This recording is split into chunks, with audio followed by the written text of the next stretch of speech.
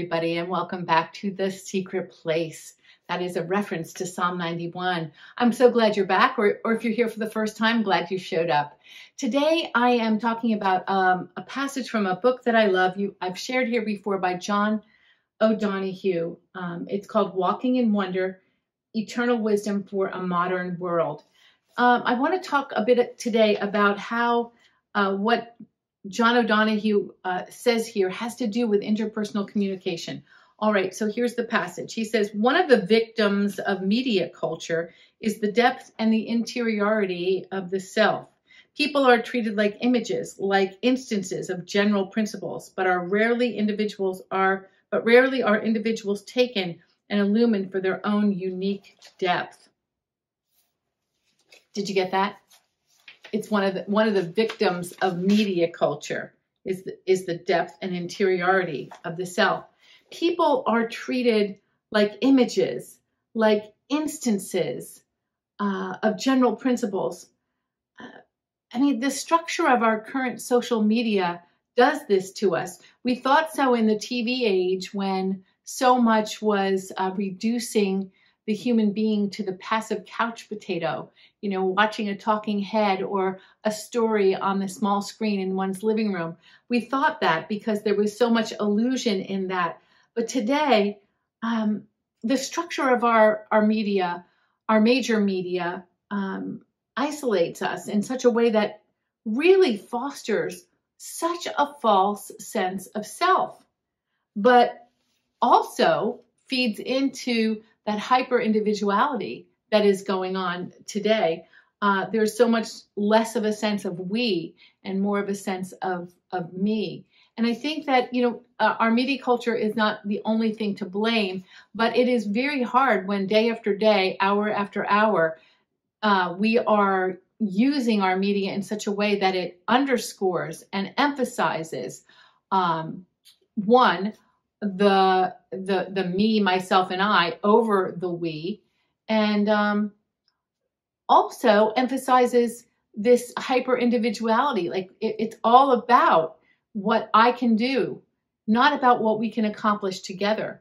So when you have that kind of a dynamic in a culture and people just um, the majority of the people just kind of like functioning in it without thinking about it it's very very easy to uh, kind of view others the way that um, our media view us and not look at others as actual people, subjects who have concerns and feelings and need compassion um, or are worthy to share in something that we do.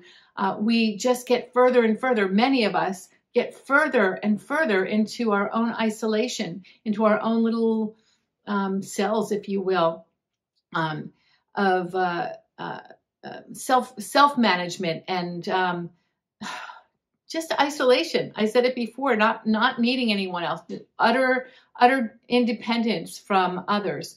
Um, some sometimes I've seen you know people kind of crumble under the fact that they can't do it all, that they need others and they don't know how to reach out to others. They don't know how to form alliances that help build community and help build a way to do things and accomplish things that need to get done. Um, so I see that a lot. There's like, especially among the young, this kind of crushing um, experience of uh, a result of isolation and our and our mass mediated, social mediated culture. But I also see the other side of that too, which I mentioned before, the hyper individualized um, attitude or mindset that says, I can do it all. I must do it all. Look at everyone else. Everyone else is doing it all. Everyone else is, um, you know, um, acting in their own in their own film, filming it, editing it, um, putting it up on YouTube, doing their own marketing, running their own business. All these fallacies. There are people doing that. I'm aware there are people doing that, but it leads us to believe that that really that's the way to do things that we need to um, just hunker down and do things all are on our own and and it's all about what i can accomplish and what i need to do. And that makes a person extremely busy.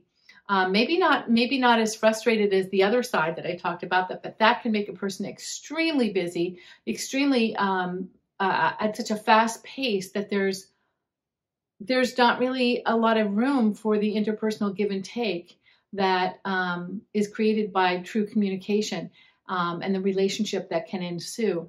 So let's let's make sure as we here I am talking to myself too, by the way, um, that we don't let the um, the culture, the media culture in this case, um, set the pace for how we think uh, we we need to be in the world or how we behave in the world, how we function with others. No, no, like what does the scripture say? And what is your heart saying? Drill down there before it gets completely uh, like glazed over with like just a, a, a media glaze that that uh, tells a lie. Um, yeah, I've been thinking about this a lot lately. Obviously, it's part of what I teach and it's part of what um, I write about, and I always read about it. Mm, but I guess I like to talk about it once in a while too on the secret place because interpersonal relationships and, and, and functioning in those and healthy, flourishing ones doesn't just come out of nowhere or out of a desire to be in a, a like a life-giving, long-lasting relationship. It doesn't come because we blink and say, "Oh, I want that. I want that." We we need to reach out, reach into other people's lives. We need to respond when they reach into ours, um, and on and on and on. And this is not just something that happens once, um, but something that is is needs to be happening all the time. Um, so that's it that's it today. Just a little a little bit from John O'Donohue. I didn't read any of his poetry or his really esoteric stuff, but I love it. Um, I've read from his book Beauty before, and I love that. Maybe I'll do that again soon. Don't forget, this is called Walking in Wonder. And I hope you have a wonderful day. See you again in the secret place. This is Stephanie. Bye now.